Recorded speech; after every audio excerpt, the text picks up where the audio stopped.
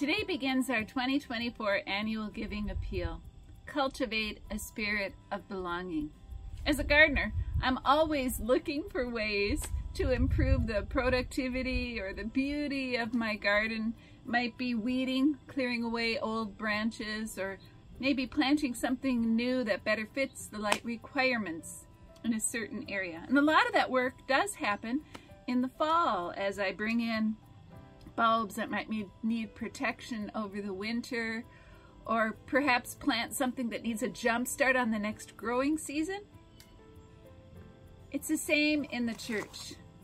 Even as the old season ends, a new season is beginning.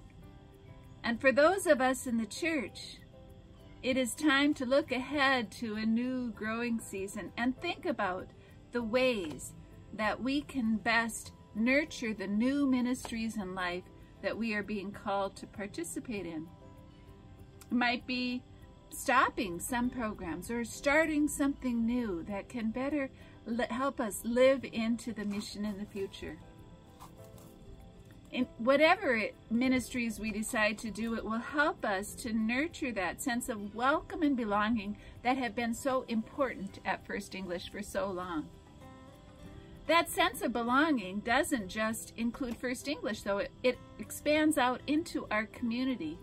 And this year we would like to help other nonprofits in the community that are increasing that sense of belonging, whether it's Zion Lutheran Church working on homelessness and affordable housing issues, or Trinity Lutheran Church sponsoring Hope and Help Together to provide a sense of belonging and welcome for newcomers to the to the Fox Cities, refugees and others who come from other cultures.